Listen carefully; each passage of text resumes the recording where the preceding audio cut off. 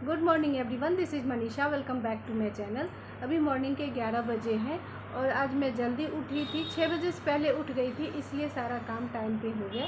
जबकि मैंने धीरे धीरे काम किया है क्योंकि आज थोड़ा सा लो फील कर रही हूँ। क्या होता है पता नहीं, लेकिन मैं दो दिन से ज़्यादा ठीक नहीं रह पाती हूँ। एक दो दिन अच्छे से काम किया, फिर तीसरे चौथे दिन मुझे कुछ ना कुछ होने लग जाता है। आज कुछ ऐसा खास नहीं हो रहा कि मैं आपको बताऊँ, ये प्रॉब्लम है। लेकिन आलस है या नींद सी आ रही है, मुझे पता नहीं चल रहा है। रात को सोई भी हूँ अच्छे से। तो आज थोड़ा सा लो फील कर रही हूँ, इसलिए मैंने बहुत धीरे धीरे काम किया है।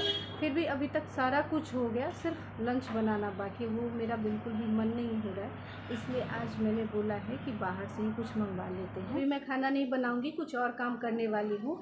जैसे मैं घूम के आई थी तो बहुत सारे कपड़े मैं धो के रखी हूँ बाहर ही। और मैं देख रही हूँ ना, एक छोटा सा चूहा इधर से उधर घूम रहा है तो मुझे डर लग रहा है कि ये चूहा कपड़े को काट ना दे। पहले मेरे घर में चूहा नहीं दिख रहा था, लेकिन अभी मैं चार पाँच दिनों से देखती हूँ, इधर उधर घूम रहा है, एक छोटा सा है।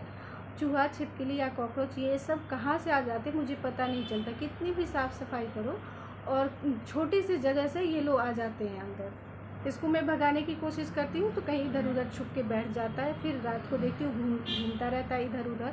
तो मुझे डर लग रहा है कि कपड़े सारे बाहर में हैं और मैंने इसलिए रखा था इन कपड़ों को क्योंकि कुछ में प्रेस भी करवाना है और कई कपड़े ऐसे हैं जिसमें वीडियो शूट भी करनी होती, कई साड़ियाँ रखी हुई हैं।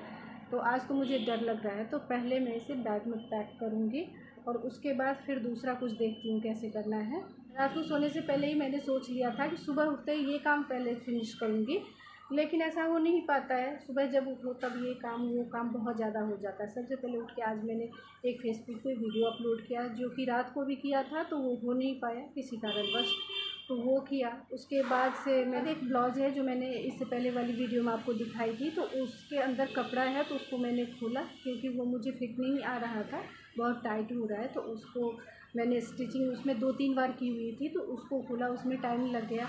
फिर मैंने दो बार चाय बनाई ब्रेकफास्ट बनाया, नहा धो के पूजा पाठ किया तो बहुत सारा काम हो जाता है।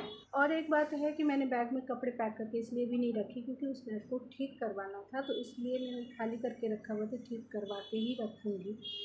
ये सफारी का ट्रॉली बैग है। और सिक्स मंथ भी नहीं हुए, इसे लिए हुए। और इसका ये जो ऊपर नीचे करते हैं ना, उसको क्या बोलते हैं? ये बिल्कुल ऊपर नीचे नहीं हो रहा है। तो इसलिए मैंने रखा था ठीक करवाने के लिए। और इतना बड़ा बैग है इसको हाथ में कैरी करके ऐसे उठा तो नहीं सकते क्योंकि बैग जितना है तो इसमें कपड़े या कुछ भी तो इतना ही रखेंगे। और छः महीने में ही ये ख़राब हो गया। इसे ठीक करवाने के लिए या तो चांदनी चौक जाओ, नहीं तो शायद उत्तम नगर में है या कहीं भी लेके जाना है, इसलिए एक महीने से इसे मैंने खाली करके रखा हुआ है और किसी के पास अब टाइम नहीं मिल रहा है कि जाए ठीक करवाने के लिए।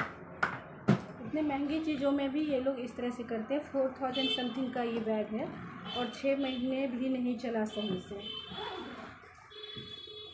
चैन वगैरह तो अभी ठीक है। देखो, ये बिल्कुल भी ऊपर नीचे नहीं होता है। इतना तक ही आता है। और ज़्यादा ज़ोर ज़बरदस्ती करने से ये टूट भी सकता है। मुझे लगता है टूट के हाथ में ना आ जाए। कपड़े तो बहुत ज़्यादा हैं रखने के लिए। इतना आएगा भी नहीं इस बैग में। पहले मैं इन साड़ियों को रख देती हूँ। ये वाली साड़ियाँ हैं ये सब। वीडियो बनाने के पर्पज़ से इस तरह से बैग में पैक करके रखती हूँ, नहीं तो बहुत ज़्यादा खोलना पड़ता है।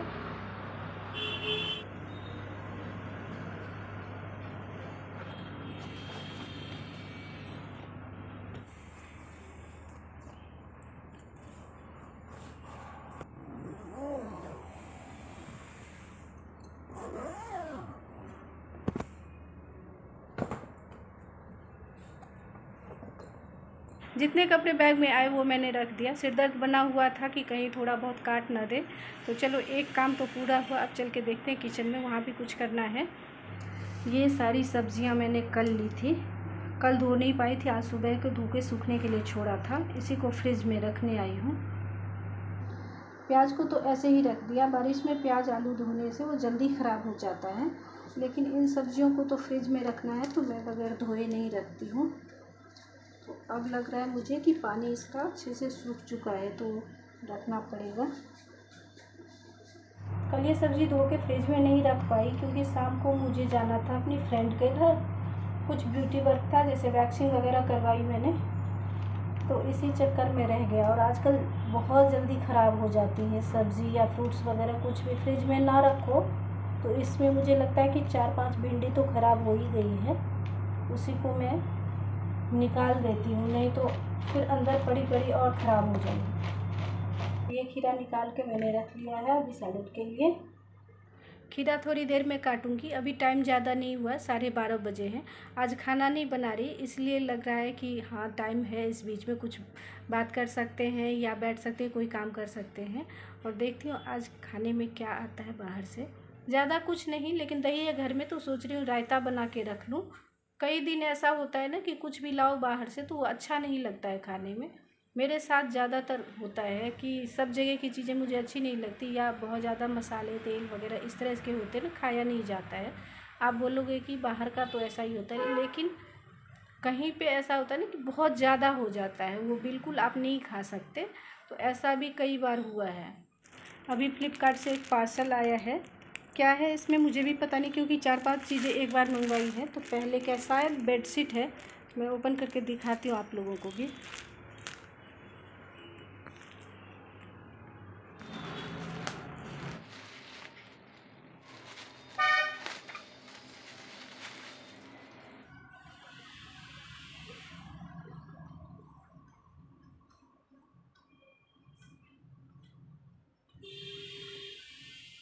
बेड का बेडशीट है और पिलो कवर भी इसमें एक ही है।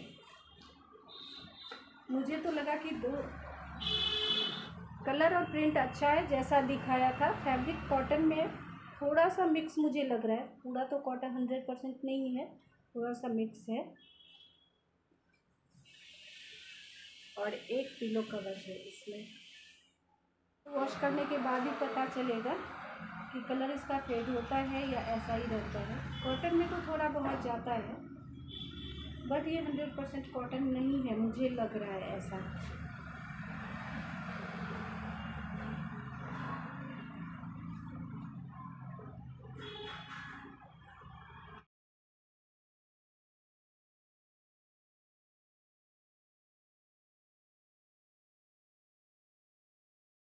चार पाँच चम्मच दही निकाल के फेंट देती हूँ अच्छे से। और हरी मिर्च काट ली है मैंने।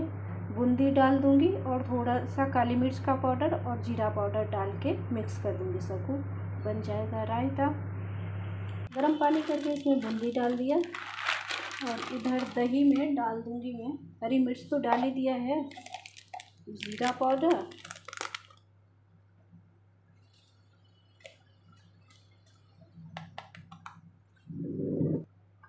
नमक डाल दिया। नमक और बूंदी डाल दिया। अब सबको मिक्स कर देंगे अच्छे से।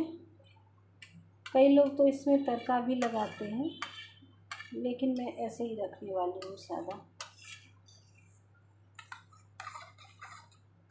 गाढ़ी या पतली आप अपने हिसाब से कर सकते हैं।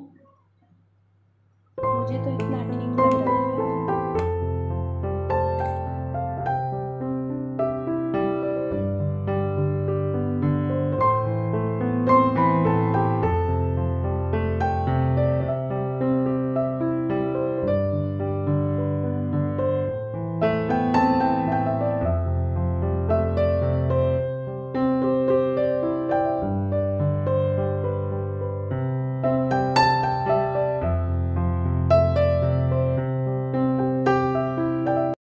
कब से मैं वेट कर रही थी कि ऐसा कुछ लेके आएँगे जिससे हमारा लंच का काम हो जाएगा, लेकिन ऐसा कुछ मिला नहीं तो ये क्या सब लेके आए? ये तो अभी काम नहीं, इससे चलने वाला है।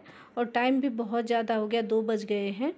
जल्दी में क्या बन जाएगा, यही सोच रही थी। इसमें है पेस्ट्री और पेटीज़ हैं तो ये दोनों अभी काम नहीं आने वाला है। इसको मैं रख देती हूँ, चाय के साथ पेटीज़ काम आ जाएगा। शाम को फिर से एक बार गर्म करना पड़ेगा, ठंडी ये सब चीज़ें खाई नहीं जाती। पेस्ट्री को तो ऐसे ही फ्रिज में रख देते हैं।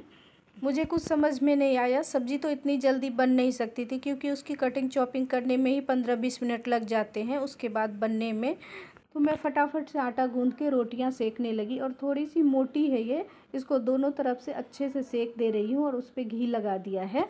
और साथ में ये है आम का अचार और रायता, जो कि मैंने पहले बनाया था। बहुत काम आ गया ये।